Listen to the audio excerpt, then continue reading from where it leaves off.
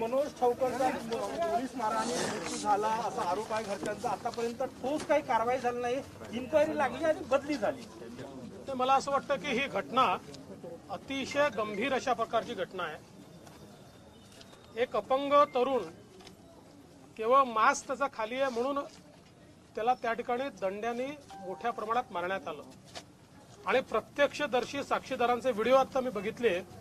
ते असं सांगतायत की दोन दंडे त्याच्यावर तोडण्यात आले आणि मग त्याला पोलीस स्टेशनला नेऊन पुन्हा मारण्यात आलं. आणि त्यानंतर त्याचा मृत्यू जो आहे हा पोलीस स्टेशनलाच झाला आहे आणि मग त्याला हॉस्पिटलला नेण्यात आलेला आहे. म्हणजे एकूणच हा सगळा जो मृत्यू आहे हा पोलिसांच्या मारहाणीमुळे झालेला मृत्यू आहे. आणि म्हणून या संदर्भात जी मागणी घरच्या लोकांची ती अतिशय रास्त आहे. आमची देखील मागणी हीच आहे की तात्काळ जे पोलीस आहेत त्यांना निलंबित केलं पाहिजे. त्यांना केवळ बदली करून चालणार नाही. त्याचसोबत हा जो काही परिवार आहे या परिवाराला मुख्यमंत्री सहायता निधीमधनं मुख्यमंत्र्यांनी मदत केली पाहिजे. आणि त्याचसोबत आता त्यांची जी पत्नी आहे तिला उदरनिर्वाहाचं कुठलंही साधन नसल्यामुळे त्यांनाही सरकारमध्ये कुठल्या तरी विभागात नोकरी दिली पाहिजे. कारण यापूर्वी पोलीस मारहाणीमध्ये अशा प्रकारचा मृत्यू झाल्यानंतर अनेक वेळा आपण घरच्या लोकांना नोकरी दिल्याचे दाखले आहेत. आणि म्हणून मी स्वतः या संदर्भात मुख्यमंत्र्यांकडे आणि गृहमंत्र्यांकडे मागणी करणार आहे.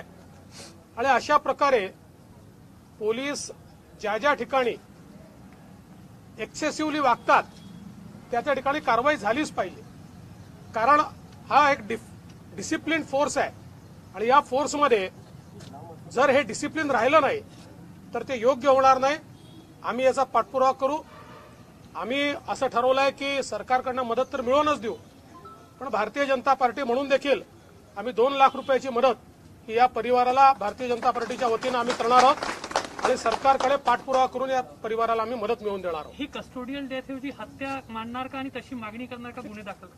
तो कस्टडीत नव्हताच. म्हणजे त्याला खरं म्हणजे तो गुन्हेगारच नाहीये. कारण तुम्ही त्याला मास्क नसल्याचा जर गुन्हा असेल तर हा फाईनचा गुन्हा आहे. याच्यामध्ये त्याला अरेस्ट करता येत नाही त्याला मारता येत नाही. त्यामुळे एक प्रकारे ही हत्याच आहे. अशा प्रकारे जर तुम्ही लाठ्यांनी मारून टाकत असाल तर याला हत्या म्हणायचं नाही तर काय? आणि म्हणून अशा प्रकारची कुठली हत्या झाल्याबरोबर नियम आहे तात्काळ सस्पेंड केलं पाहिजे. बदली करून चालणार नाही. त्यामुळे असं पाठीशी घालणं योग्य नाही तात्काळ सस्पेन्शन झालं पाहिजे. तपास यंत्रणेमध्ये अडथळा येऊ नये. सीआयडीकडे हे सगळं प्रकरण गेलं म्हणून आम्ही त्यांची बदली केलेली आहे. असं त्यांनी त्याला म्हटलेलं आहे. बदली करून चालणार नाही. सीआयडी तपास दिला. याबद्दल मी त्यांना धन्यवाद देतो. त्यांनी योग्य काम केलं आहे कारण अशा प्रकारे जेव्हा डेथ होते त्यावेळी तात्काळ सीआयडी तपास केला जातो. ते सीपींनी केला ही चांगली गोष्ट आहे. पण माझं मत असं आहे की जोपर्यंत हा सीआयडीचा तपास होत नाही तोपर्यंत या लोकांना सस्पेन्शन खाली ठेवलं पाहिजे. नाही, याच्यामध्ये ते म्हणतात की मास्क आणि हेल्मेट लावले म्हणून बंदोबस्त असताना त्याला मारहाण केली. पण आपण जर चित्र पाहिलं नागपूरचं तर नागपूरमध्ये कुठेही बंदोबस्त आपल्याला पाहायला मिळत नाही. पाच नंतर संचारबंदीमध्ये सगळे लोक फिरत असतात तेव्हा कुठेही असं आहे की चुका कोणीच करू नये. पण सामान्य नागरिकांनी केलेली चूक आणि पोलिसांनी किंवा कुठल्याही शासकीय अधिकाऱ्यांनी केलेली चूक यात अंतर आहे. समजा जर त्यांनी हेल्मेट घातली नसेल आणि तुमचा हेल्मेटचा नियम आहे तर तुम्ही त्यांना फार तर चालान करू शकता. दोन लाठ्या तोडण्याचा अधिकार हा कोणत्याही कायद्याने दिलेला नाही. त्यामुळे याचं जर कोणी समर्थन करत असेल तर ते चुकीचं आहे. हो एकीकडे शहरामध्ये गुन्हेगारी वाढते आहे. साधारणतः महिन्याला आठ गुन्ह्यांचे प्रकार जे आहेत ते पुढे येत आहेत. दुसरीकडे सामान्य माणसाला अशा प्रकारे पोलीस म्हणजे गुन्हेगाराला पकडण्याऐवजी सामान्य माणसाला बेदम मरेपर्यंत मारला जून महिन्यात एकोणीस खून आहेत. नाही, मला तर असं वाटतं की हे तर महत्वाचं आहेच. कारण गुन्हेगारीवर वचक हा बसलाच पाहिजे.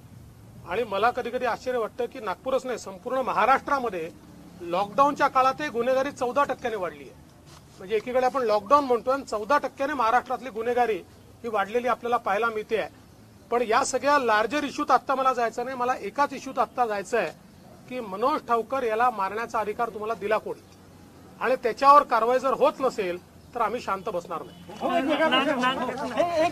पायाखालची पायाखालची वाळू सरकली मुख्यमंत्र्यांच्या पायाखालची वाळू सर- सरकली. माझ्यावर पायात ठेवली जाते असं नाना पटोले सीएम डीसीएम ला रोज रिपोर्टिंग होतं मी कुठं जातोय कोणाशी बोलतोय.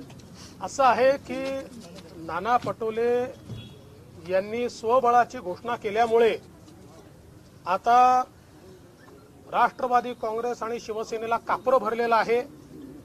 त्यांना जेवण जात नाही आहे त्यांना पाणी देखील पिता येत नाही आहे ते अत्यंत घाबरलेले आहेत.